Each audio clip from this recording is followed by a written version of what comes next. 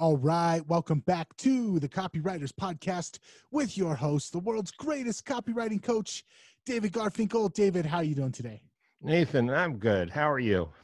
I'm good. I'm still trying to recover from last week's episode, man. That that interview with Michael was it was a topic that rarely gets talked about by copywriters. A lot of copywriters just kind of uh, glaze over when you start talking about SEO. But man, he brought so much kind of like mind-boggling information to the episode that I think that if the if the listeners haven't listened to the last episode, if this is your first episode of the Copywriters Podcast, as soon as you're done with this one, subscribe, go back and listen to that episode because it was so good.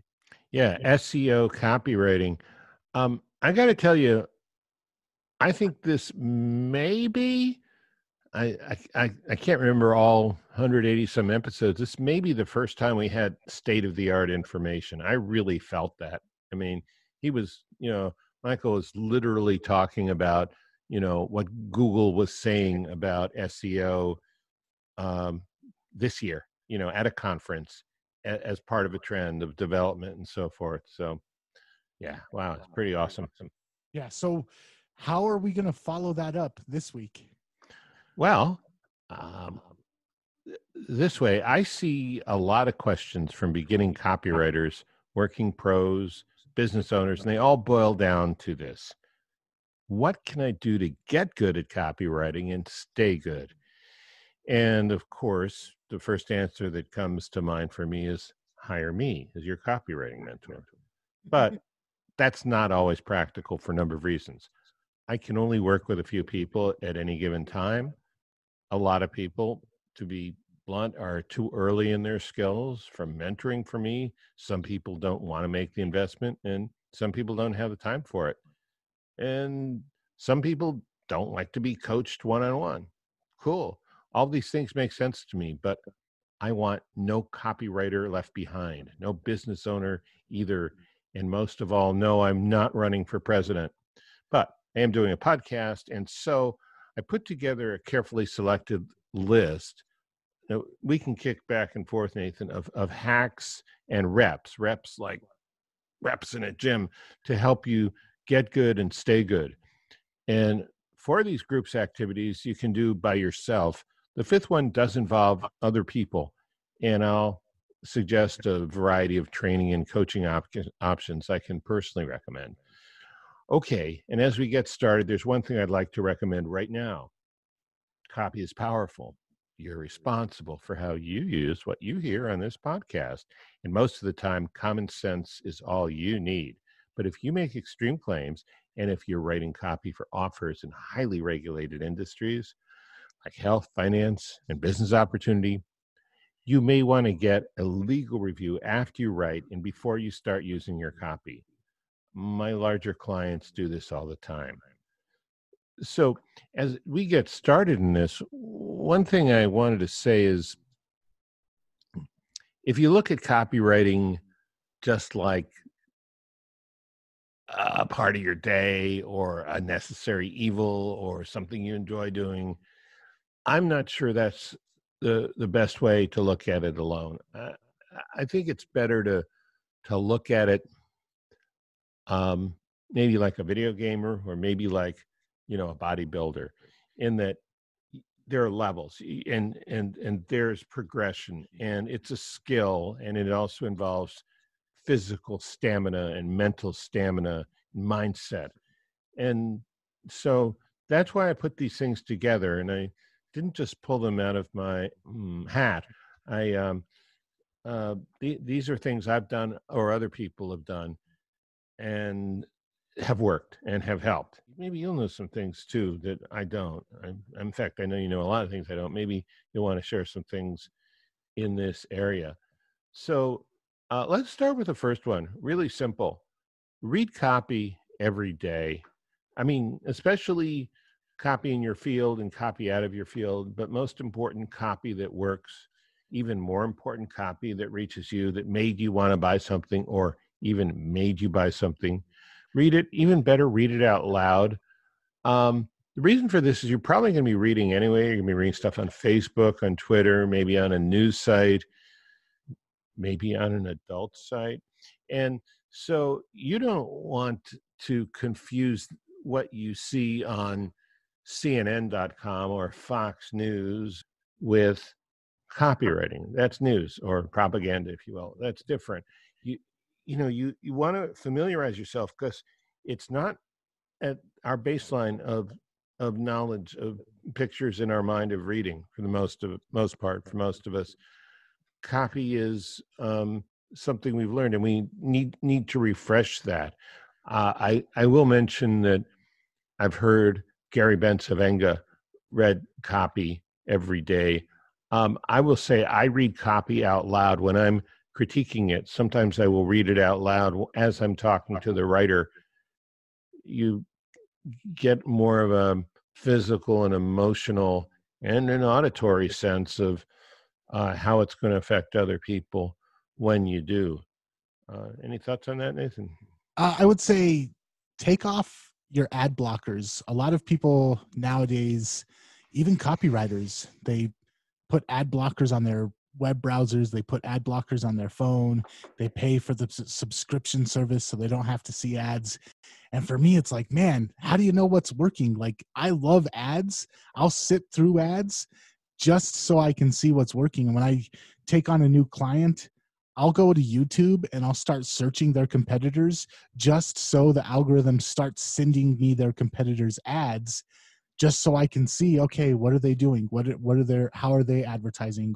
What points are they hitting? What pain points are they talking about? What unique selling propositions are working for them? Um, we live in a time where you can, where you can technologically help yourself be ad blind, but as a copywriter, I think that you you say it, read copy every day. Uh, make sure that you're not denying yourself the opportunity to see which ads are working right now. A lot of times we talk about go back and read the old ads, go back, uh, check check swipes.com or check some of the old, but knowing what's working right now can also be a great advantage. So uh, I, I, would just say um, there's a wealth of advertising out there, but a lot of times we use technology to blind ourselves to it.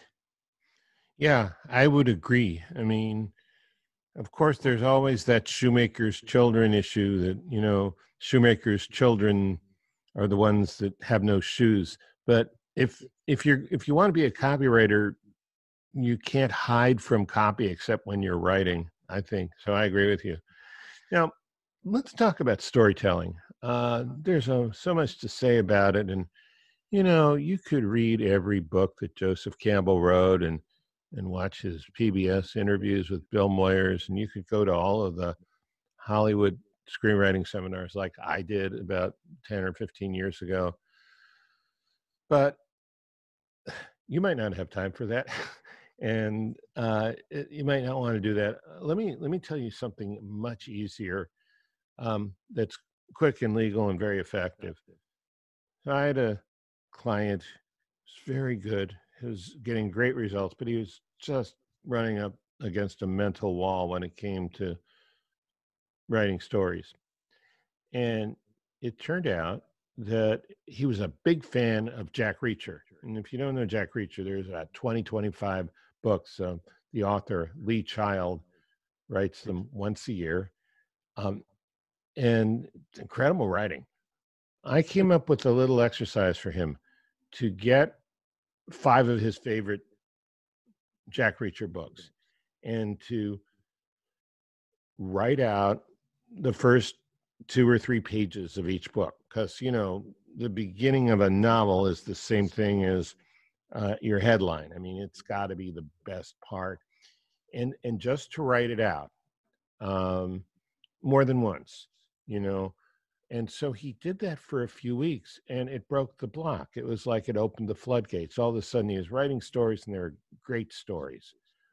Now, I like Jack Reacher. In fact, um, this client told me that there's a Lee Child approved Jack Reacher coffee and I bought it. You know, it's um it's from the Baltimore Coffee and Tea Company. But he's not my favorite. I think my favorite, if if I were to do that today, I would probably do it with the Orphan X books by Gregg Hurwitz. I love his writing even more than than Lee Child's. Um, but you could you could do it with anything. Now, I think it's important to do this with fiction. There are a few nonfiction writers that are extraordinary these days. Um, I won't even mention who they are. I would just say stick to fiction. And one thing I'd also like to say is be really careful when you start hand copying sales letters. Uh, one of the things you can do is unknowingly internalize someone else's copy word for word. And if it ends up in your copy, you could be staring down the double barrels of a copyright infringement suit. Um, not really likely to happen, but it could. So just be careful about that. But unless you're writing novels yourself, I don't think you're running into any kind of danger like that with the, um, um, we'll call it the Jack Reacher strategy. I, I think it's interesting that you brought this up. I interviewed Ray Edwards a while ago, and one of the questions I love to ask copywriters is, "What's your favorite book, or what book are you reading right now that you're really getting a lot out of as far as copywriting goes?" And his answer was anything by Stephen King. Uh-huh. Like, Stephen King doesn't write sales copy, and he said no, but he writes amazing fiction. And every time I read a Stephen King novel, I have a bunch of ideas for how to make my copy more compelling. So, uh, as business owners, as as copywriters, we're we focus a lot on the copywriting books, the marketing books, but learning from the world of fiction is great advice. Yeah, thanks. Okay, so besides um, hand copying books, if if you're going to write copy, you need to read some things. I mean, you do. Uh, you, you don't need to like read read three or four hours a day, but there's some there's some things you need to read to get your sights right and learn techniques. There's a real mindset shift that needs to occur for you to be a good copywriter. And so I'm going to suggest three books you can read just once. And of course, you should read them more than once, but even if you just read them once, I think that will uh, this is especially for beginners, but it'll really help anybody who's looking for shortcuts that are still going to get you high quality. One is Tested Advertising Methods by John Caples. The second one is How to Write the Perfect Sales Page by Nathan Fraser. And the third one is Breakthrough Copywriting by yours truly. Um, each each one of those books is, is very valuable, very simple to understand and easy to apply. Hmm? So, yeah. I did not expect that you were going to plug my book, and I'm incredibly honored and feel uh, I'm blushing over here.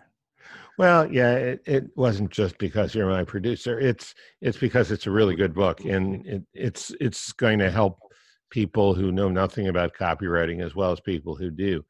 Now, there's a second set of books that you should read multiple times. Um, and the reason for that in in two of the three cases is not because you won't understand everything because you probably will. The reason for that is this is stuff that you want to take deeper than your knowledge. You want to sort of get it into your bones into your neurology. The first one is scientific advertising. By Claude Hopkins. Uh, David Ogilvy says you should read this at least seven times before you have anything to do with advertising. And there are a lot of um, other people who've said the same thing. Uh, I'm saying the same thing. It, I mean, it wouldn't hurt if you read this book once a year um, because it talks about principles that are counterintuitive for anyone who's been brought up in this country unless you actually grew up in a family like remember we had matt risby on um, his father was a copywriter. If you're you know if you grew up in a family where they're entrepreneurial and marketing you might might have more of this mindset but um, no most people don't. A second book that you should read repeatedly is a technique for producing ideas. I believe that Jay Abraham said he read it 50 times. Um, I'm not nearly as extreme as Jay. I only read it five times. Um, but it's it's worth it. It's by James Webb Young. It's a very short book. It it seems ridiculously simple. So don't look at this book like knowledge. Look at it as an actual process, a technique that you're actually going to use. Once you start to use it, whole new worlds will open for you. And it's it's not that hard to do. It's just different from what most people do, what you learn to do in school. If if you're a very creative person and you've worked on creative projects, especially at a large scale, um, it may be somewhat familiar. So uh, the third book you should read multiple times is called Breakthrough Advertising, and I wouldn't even recommend you read this until you've done some copy, till you've actually been bounced around uh, the marketing experience a little bit. It might make theoretical sense to you, but it'll make. I mean, in our last um, call, um, Michael Fortin was just rattling off one of the chapters like uh, you know it was uh, the alphabet or something because he's really been around the block so breakthrough advertising by gene schwartz. And again it makes more sense when you have a little more experience. What do you think? I think all three of these books are works where the more you understand the more you can get out of them. So you read through it once and a lot of the stuff is just going to go over your head, but you get a little bit of a foundation. And then when you read through them again, especially breakthrough advertising and scientific advertising, they're books where you read through it the second time and you pick up so much stuff that you weren't able to pick up before you got through it the first time. And then you go through it the third time, and then all these other things, and you're like, how come I didn't get this the first two times or the first three times I read it? So to really get what these books have, I think it's almost required that you read through them at least three or four times. Yeah, I, I think that's true. And it occurs to me the reason you didn't get it the first time is Claude Hopkins did not write scientific advertising as soon as he got a job at an ad agency. Gene Schwartz did not write breakthrough advertising as soon as he wrote the letter that founded Boardroom. They had years and years of experience, and it was reflection on that experience and what they learned from the experience and then they condensed it down and then they organized it into a system. So it's like you're going to have more rapport with their material if you've had some of those experiences too. Mm-hmm. and I, I think that might be why. The third thing or the fifth thing We've, we've already gone through four of them, which are, you know, read copy every day, handwrite uh, the openings of a few books of a favorite fiction author, um, books you could read once, books you could read multiple times. C- copywriting is a solo thing, but it's not totally isolated. After all, you are talking to one other person, so there you're not the only person there. So it's it's a good idea to take a course or join a group, have people to talk to. Don't expect the group to do your learning for you or figure stuff out for you. I think you got to take initiative with those other things um, for that. But so John Carlton has the simple writing system. That's that's a really good course. It's a couple thousand bucks. That's not a bad price for what you get because there's individual attention in a group environment with a coach and there's a structured learning system. That's one option. Another one my friend kevin rogers has copy chief. He's created a whole community in there. There's um, you know different levels of of what you can get. Um, i don't know a lot about it but i know some really good things have happened to some people who've been in there. And the third thing i can recommend is a copywriter club rob marsh and kira hug I, I don't know the extent of what they have, but they have a lot of different programs, and they have a, a free Facebook group with maybe ten thousand members, the Copywriter Club. Um, maybe you have other um, groups you can suggest or any thoughts about any of these. I don't know. I feel like we missed a giant opportunity here on a list of things of what you can do to get good at copywriting and stay good at copywriting. The most obvious one to me is subscribe to the Copywriters Podcast. Well, duh, of course. that one that one just goes without saying.